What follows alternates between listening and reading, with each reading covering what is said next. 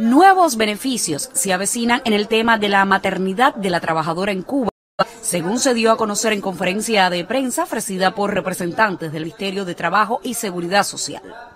A partir de la puesta en vigor del Código de las Familias, se hizo necesario modificar algunas cuestiones relacionadas con el Decreto Ley 56 de la maternidad de la trabajadora y la responsabilidad de las familias.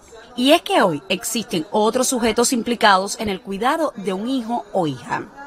El decreto ley 71, publicado en la Gaceta Oficial, no deroga el anterior, sino que lo modifica. Eh, entre los objetivos de este decreto ley eh, se amplían, o sea, se incorporan como objetivos del decreto ley 56 de la maternidad a la trabajadora, extender el derecho eh, a la protección establecida para el cuidado de la hija o hijo a otras personas que trabajan. Y hago énfasis en esto, o sea, este decreto ley es para las personas que trabajan como consecuencia de qué? De la multiparentalidad, la afiliación adoptiva, asistida y socioafectiva que está establecido en el Código de Familia según los tipos y fuentes de filiación que allí se establecen. En este decreto ley 61 se amplían los sujetos de aplicación de la norma. Aquí se amplía la protección a estos sujetos, tanto en el sector estatal como en el no estatal, para las personas adoptantes, incluida la adopción por integración que viene ese concepto en el Código de la Familia, para además las personas comitentes en los casos de multiparentalidad a través del uso de, técnicas de, reproducción asistida que además la pareja quieren asumir la maternidad o la paternidad según previsto en ese código de familia. También se amplía como sujeto a las personas que sobre la base de un proyecto de vida en común prevén concebir un hijo o hija por más de dos personas como otro de los supuestos de multiparentalidad.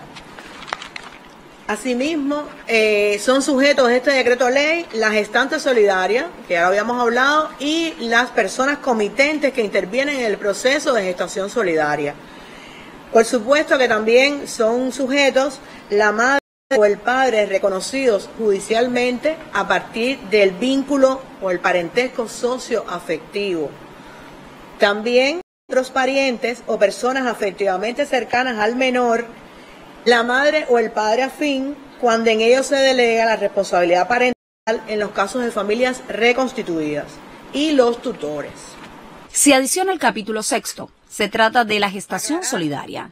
Para la gestante se le da el derecho al disfrute de la licencia prenatal y postnatal y vencido este periodo, la reincorporación al empleo. Esta gestante solidaria, compañeros, es la persona eh, que cargue en su vientre ese feto a partir de las técnicas de reproducción asistida. O sea, está el, la gestante solidaria que carga en su vientre el feto y están las personas comitentes, que son los padres del menor, que van a cuidar al menor una vez que ella eh, tenga su parto. Entonces, esta gestante solidaria va a tener derecho al disfrute de seis días completos o 12 medios días de licencia retribuida, es decir, se le paga ese día que ella asiste a la médica o estomatológica eh, para su cuidado, para su protección. Y además, también van a tener derecho a, esos seis días completos o esos doce medios días, una de las personas competentes, el que ellos decidan, que va a acompañar a esta gestante solidaria a, su asistencia médica o estomatológica. Al vencimiento de la licencia postnatal, las personas comitentes deciden cuál ellos cuidará a la hija o al hijo el que recibe la prestación social cuya cuantía asciende al 60% de su salario promedio mensual. Nuevos detalles para la protección de la maternidad a la trabajadora en Cuba y la responsabilidad de las familias. Indira Román, Sistema Informativo de la Televisión Cubana.